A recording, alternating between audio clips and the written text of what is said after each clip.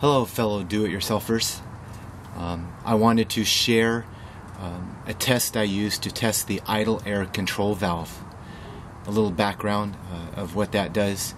Uh, his job is to uh, help the engine get more air, uh, either when you're starting the car, uh, to help uh, make idle quality very good, and also compensate for adding or removing load from the engine, like air conditioning uh, things like that.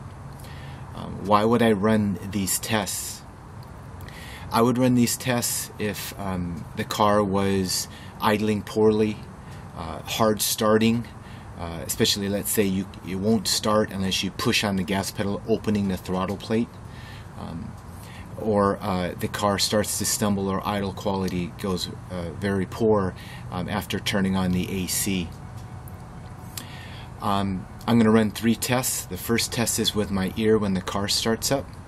Number two, when the car is running, I'm going to add load and remove load from the motor, or engine, excuse me. It's not a motor, it's an engine.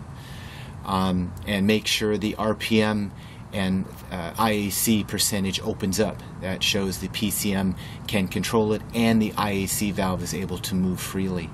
The last is to use a bidirectional test. Um, as you can see, I'm using a, a Snap-on product, um, but you don't have to use a Snap-on product. You just need any bidirectional tool, um, and they should have this capability. What we're working on is a uh, 2001 uh, F-150. So let's let's start.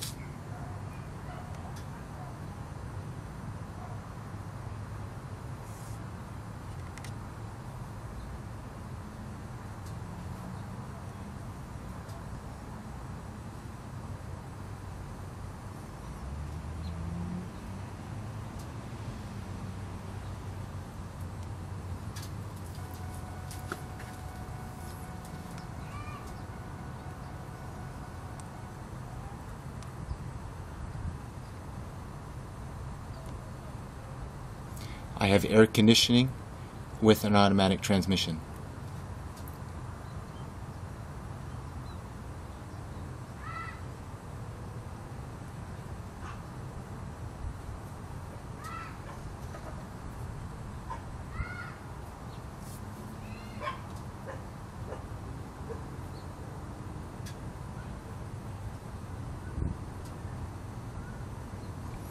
I'm going into functional tests idle speed command test. So this is the, the first test. Um, it asked me to start the car, but I'm going to run my test with my ear. Um, I'm going to turn the ignition to start, but I'm not going to touch the accelerator pedal. And listen to the RPM.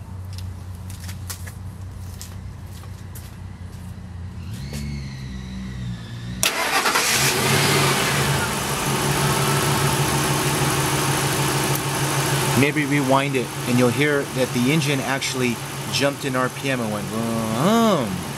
That is what the PCM does to allow additional air to have the car start and to know where the uh, IAC position is. I'm going to start my test by continuing. I want to expand. I like to see the IAC percentage and the RPM.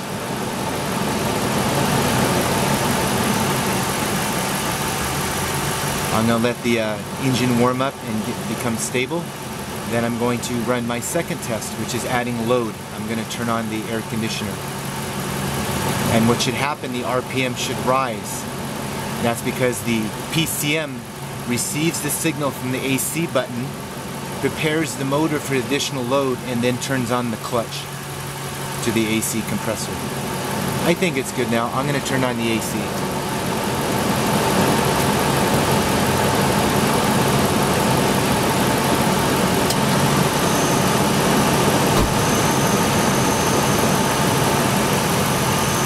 And it did. It increased it to 50% and the RPM rose accordingly. So that worked. So that definitely clearly shows the PCM has connectivity, meaning uh, the, the wire integrity is good to the IAC and the IAC was able to move.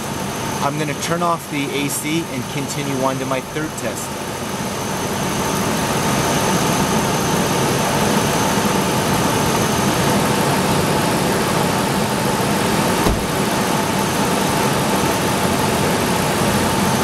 And IAC moved back down to normal idle. I'm going to begin this test now where I'm going to uh, be allowed to tell the computer to change the IAC percentage opening. I'm going to start the test.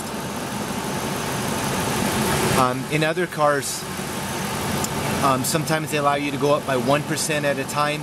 In this particular case, it's by 10% at a time. What do you notice? The IAC percentage moved to 50 and the RPM raised quickly and smoothly. I know it looks like it's jumping around, but look at the scale. I'm going to go up to 60% now.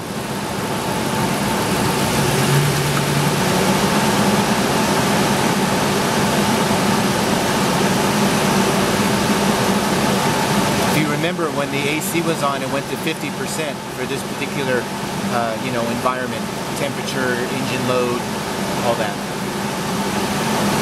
I'm going to go down to 50. Notice the engine responds very quickly, smoothly. I'm going to go back to 40.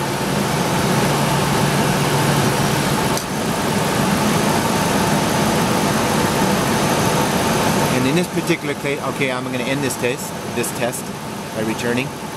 Now I'm not sending commands anymore So that concludes these three tests. From my experience, it, it did very well. It passed. Um, one thing to note, a lot of modern cars don't have an IAC any longer. The IAC valve uh, allows air to go around the throttle plates. In a, a, lot of newer cars, they use a concept called fly-by-wire, um, which means you're actually telling the computer where to move the throttle plate, and it does it. Whereas in uh, cars with IACs, there's an actual cable between your lead foot, in my case, to all the way to the butterflies which move the plate. So therefore it needs an extra device, in this case an IAC, to get air. It's like the old choke in the older cars. That's how uh, it handled it. Modern cars use an IAC. Anyways, want to let you know that, and even though it's fly-by-wire, uh, from my experience, a lot of those cars also have the capability to test uh, adjusting, changing idle.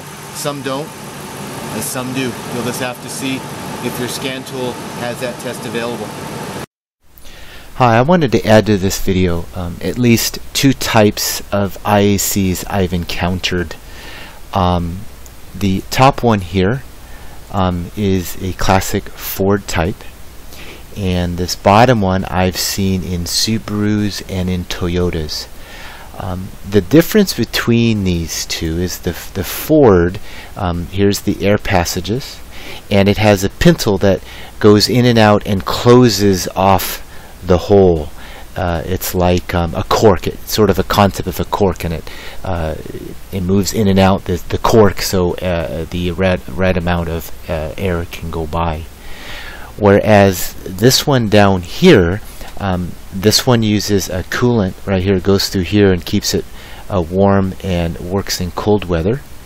Um, and then here is where the air is either, uh, you know, the outside air is allowed to go into the intake. And how this works is it has a um, like a shutter that's moved in and out that rotates and uh, opens one specific side. Why do I describe this? Well, with the Ford type, I've I've I've gotten about um, 60% to 70% success in cleaning them. Whereas unfortunately in this bottom type, the shutter type, I've gotten uh, 0%. Um, I've had to replace uh, about the three or four that I've worked on. I was not able to clean them. Um, but maybe your experience would be different. Just wanted to share my experience. One thing I wanted to say when you do clean them, I use carburetor cleaner, and make sure to have the top part. This is where all the electronics are, the motor, the windings, connectors. Um, you want it high because you don't want your carburetor cleaner to get into there and maybe short it or ruin it. At least that's what I do. And then I use uh, carburetor cleaner. I let it sit in there. I usually plug this with my finger and just keep it in there and use picks to clean it. Uh, likewise here, um, you want to make sure the electronics here is at the top and then you clean it um, and use uh, I, I, I, fill it lean it back uh, keep uh, carburetor clean in there and try to use picks and gently move it around and try to move the actuator very gently around and clean it.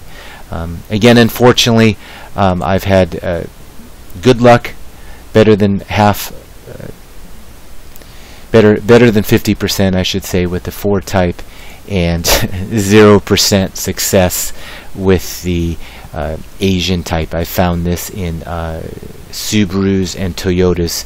I don't know if Nissans would have them. I don't recall working on a Nissan's uh, IAC. They may be similar. Anyway, I just wanted to, to share that, and uh, hopefully that helps you. Um, oh, I've also had, uh, I've overheard some people say they use an ultrasonic cleaner. Um, I never did that because then you'd have to, you know, submerge it. Obviously, uh, maybe that would work. I would think it would, but I'm nervous about. Obviously, you don't want to uh, submerge the electronics part.